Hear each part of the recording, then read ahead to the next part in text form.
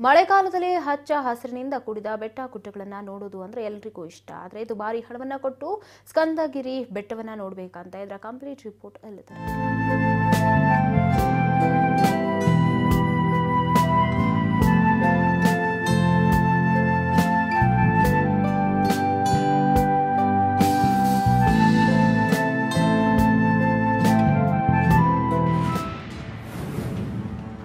ದುಬಾರಿಯಾದ ಚಾರಣಿಗರ favourite spot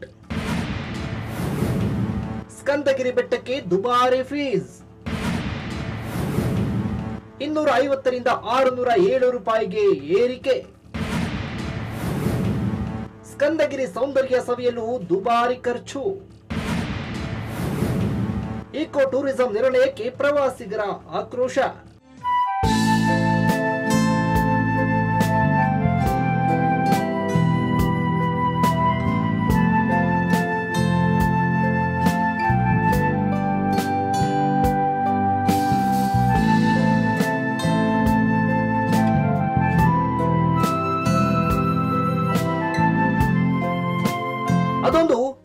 ಸುಂದರವಾದ ಪ್ರಕೃತಿ ಧಾಮ.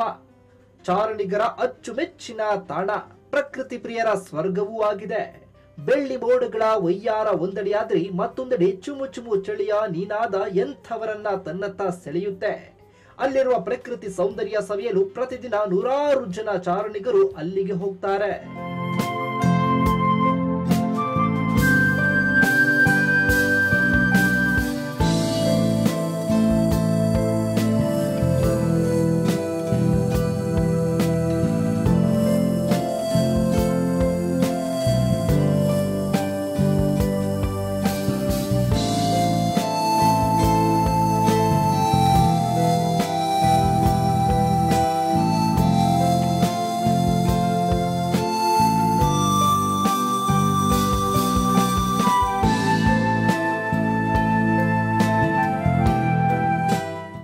ಹೀಗೆ ಸುತ್ತಲೂ ಮುತ್ತಿರುವ ಬೆಳ್ಳಿ ಮೋಡಗಳ ಮಧ್ಯೆ ಹಣೆಯ ಮೇಲೊಂದು ಬಿಂದು ಇಟ್ಟು ಚಾರಣಿಗರ ಸ್ವರ್ಗಲೋಕ ಎಂದೇ ಖ್ಯಾತಿಯಾಗಿರುವ ಸ್ಕಂದಗಿರಿ ಬೆಟ್ಟ ಚಿಕ್ಕಬಳ್ಳಾಪುರ ತಾಲೂಕಿನ ಕಳವಾರ ಗ್ರಾಮದ ಬಳಿ ಇದೆ. ಸ್ಕಂದಗಿರಿ ಬೆಟ್ಟ ಅರಣ್ಯ ಇಲಾಖೆ ವ್ಯಾಪ್ತಿಯಲ್ಲಿದ್ದು ಸಮುದ್ರ ಮಟ್ಟದಿಂದ ಸಾವಿರದ ಮುನ್ನೂರ ಐವತ್ತು ಮೀಟರ್ಗಳ ಎತ್ತರದಲ್ಲಿದೆ.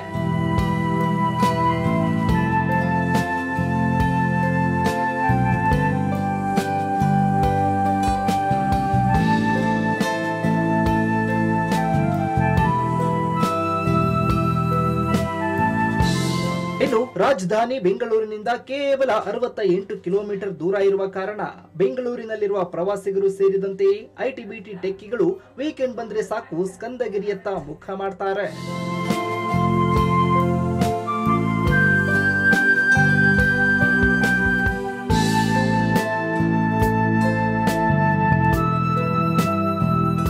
ಈಗ ಅದೇ ಚಾರಣಿಗರು ತಾಣಕ್ಕೆ ಹೋಗಬೇಕು ಅಂದ್ರೆ ತಲಾ ಆರ್ನೂರ ಏಳು ರೂಪಾಯಿ ದುಬಾರಿ ಪ್ರವೇಶ ಶುಲ್ಕ ನೀಡಿ ಅಲ್ಲಿಗೆ ಹೋಗಬೇಕಾದ ಅನಿವಾರ್ಯತೆ ಎದುರಾಗಿದೆ. ಇದನ್ನೇ ಬಂಡವಾಳ ಮಾಡಿಕೊಂಡಿರುವ ಕರ್ನಾಟಕ ಈಕೋ ಟೂರಿಸಂ ಬೋರ್ಡ್ ಮನಸ್ಸೋ ಇಚ್ಛೆ ಪ್ರವೇಶ ಶುಲ್ಕವನ್ನ ನಿಗದಿ ಮಾಡಿ ಚಾರಣಿಗರ ಆಕ್ರೋಶಕ್ಕೆ ಕಾರಣವಾಗಿದೆ.